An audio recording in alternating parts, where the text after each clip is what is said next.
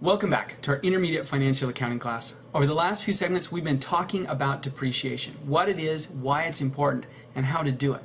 We've done examples of the four most common depreciation methods, and then talked about full versus partial year.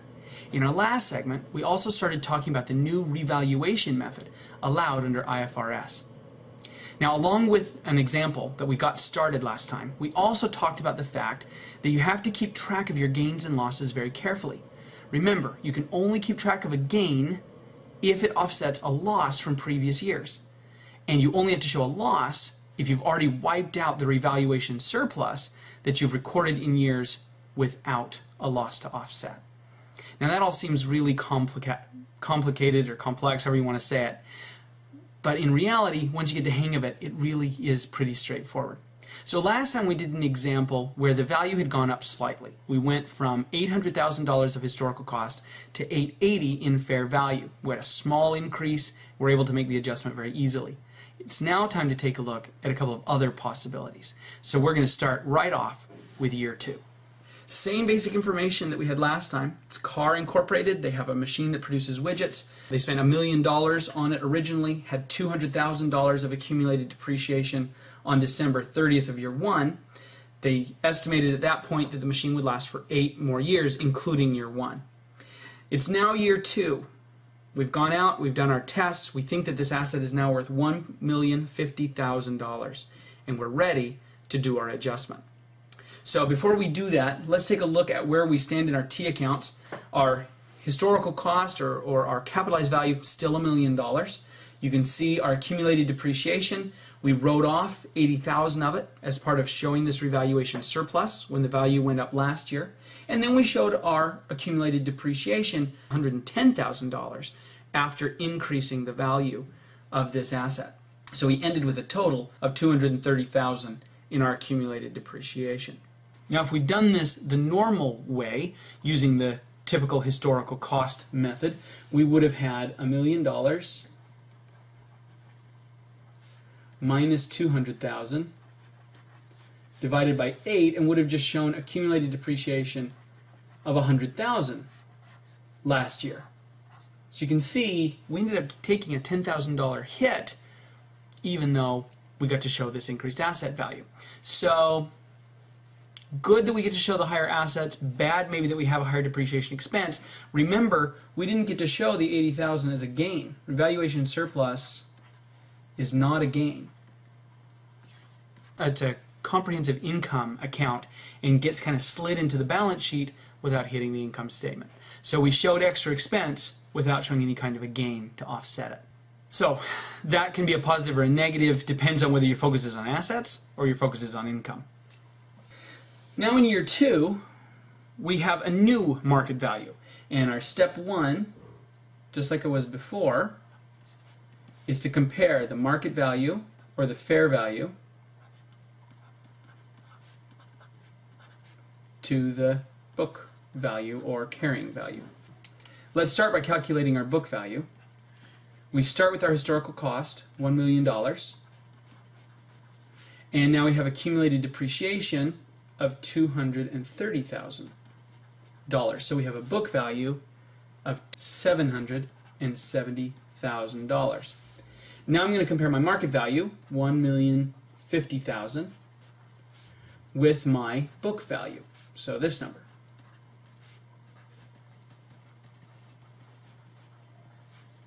And again, our value has risen 280 $1,000. Because there's an increase, first thing I check, do I have any losses I can offset and, and show a gain? No, I certainly don't. I didn't have any losses before, and I showed a gain last year. I don't have anything that I can offset with a gain. So I'm going to have to put all of that into revaluation surplus. Let's do the journal entry.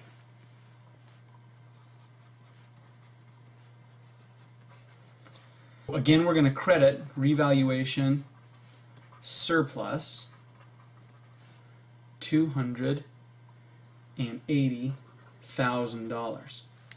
Now the next question is, wait a minute, where do I put that? Where does my debit go? And if you remember, we went through a specific order for recording the increase in value. first, we use up any accumulated impairment that we may have, and we don't have any, so we can't do that. Next, I use up accumulated depreciation, but I don't have 280. The most I can do is 230, and that would take it to zero. So that's the most I can put in there. Anything more than that has to go into PP&E. So I'm going to put the rest of this 280 into property, plant, and equipment. Let's do the journal entry so that my T accounts aren't really ahead of my journal entry. I'm going to debit accumulated depreciation for 230. Then that would take it to zero, so I can't do any more. And then I'm going to actually debit my PP&E account by $50,000. This is to record the change in fair value or market value, whatever you want to call it. Let's go ahead and put revaluation surplus into the T accounts. I've already done the other two just as we were showing what's going on. But let's get this in there too, $280,000. Next thing, step four, to wrap this up, I have to record depreciation expense.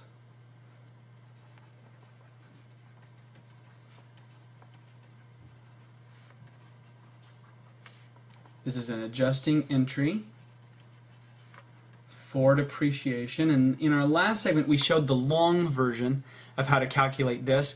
We're going to use the shortcut this time. And the shortcut is I take that fair value minus the salvage value and divide by the number of years, at least for straight line. So let's see, our fair value was $1,050,000. Salvage value is zero.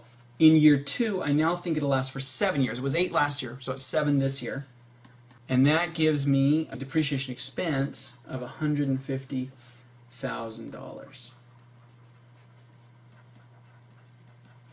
Now remember, if I had done this using straight line and hadn't revalued, I would not be showing 150. I'd be showing 100,000 in my depreciation expense.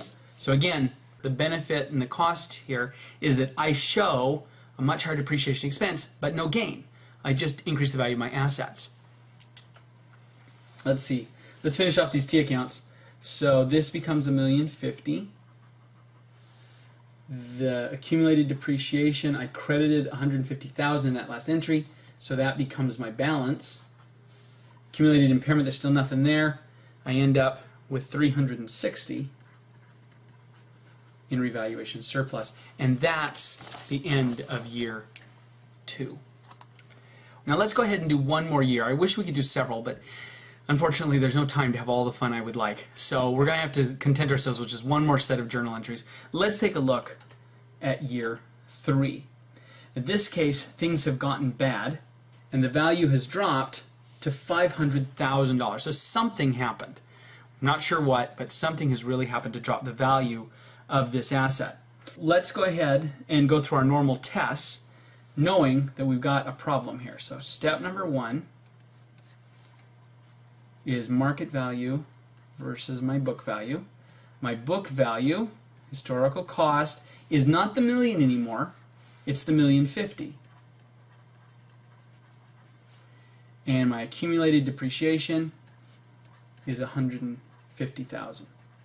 So overall, my book value, and I'm kind of out of room here, but it's 900,000. Next, we compare the market value, 500,000, with the book value, 900,000. And not only have we dropped, but we've dropped a lot. So I need to write down this asset. Now remember, we talked about this wave in how we record these values. And we said this is our original historical cost or, or the historical cost. Anything above the historical cost goes to revaluation surplus. And if we come back down from here to here, I can take it out of revaluation surplus. Once I get below the line, then I have to record a loss. If I come back up, like from here to here, this piece, I could show a gain then I'd have to switch back up here to revaluation surplus. So we've just gone from way up here to way down here. with our loss. So we're going to have some of this that goes into revaluation surplus and some that's going to have to be an actual loss. Let's take a look at our journal entry then on December 31st of year 3.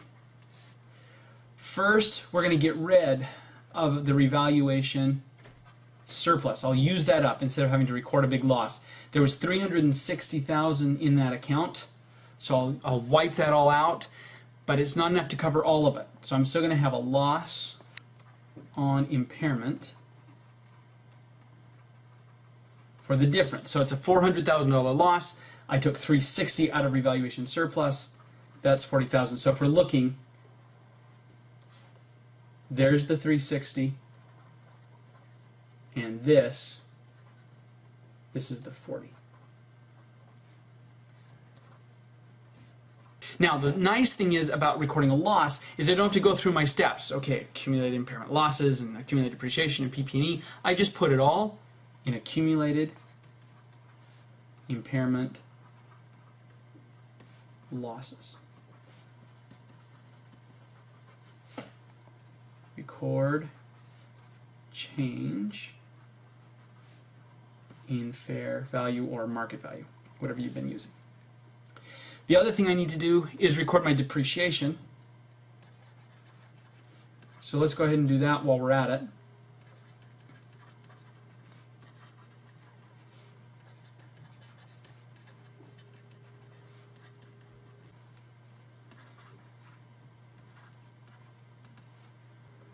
And again, we take our market value or fair value minus our salvage value and divide by the number of years. So in this case, fair value is 500,000, salvage value is zero, and we're now down to six years. Doesn't divide very well, does it?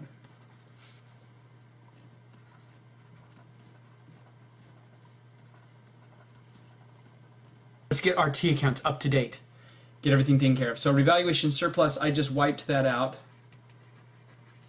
So there's none there. Accumulated impairment, I just recognized $400,000. So we started with zero, we've added 400,000, so we end with 400,000. Up here, we've recorded 83,333 as our depreciation for the period. So we end with a total of 233 three, three, three. And nothing happens over here, so we keep that same balance. If we got into the new year and the value had gone back up again, I could record up to $40,000 as a gain.